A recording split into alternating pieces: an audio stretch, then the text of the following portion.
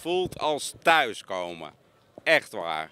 Om alle bekende gezichten weer te zien en de warmte straalt er vanaf.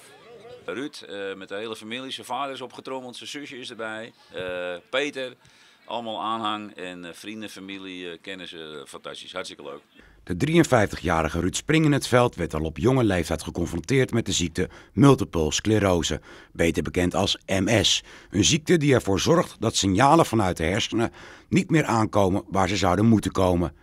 Sinds 1998, hij was toen nog geen 30, heeft Ruud hiermee te kampen.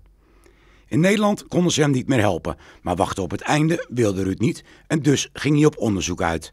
Hij kwam uiteindelijk terecht bij een arts in Moskou. Ik ga op 30 oktober naar Moskou toe voor een week of vier, vijf. Dus dan gaan ze proberen een stamceltherapie te doen, die ze ook bij leukemie-patiënten doen, zeg maar. Dus dan hoop ik beter te worden daarvan. Ik zal niet meer kunnen lopen, maar als, als er maar kleine dingetjes weer beter kunnen. 50.000 euro heeft Ruud nodig om de reis en behandeling te kunnen betalen. Via een crowdfund-actie werd er tot aan dit weekend 38.000 euro opgehaald. Zijn oude voetbalvereniging Roda 23 in Bovenkerk organiseerde afgelopen zaterdag een heuse benefiet voor Ruud om het streefbedrag te halen. Oud-ploeggenoten en veel bekenden waren naar de club gekomen om Ruud te steunen en een wedstrijd te spelen.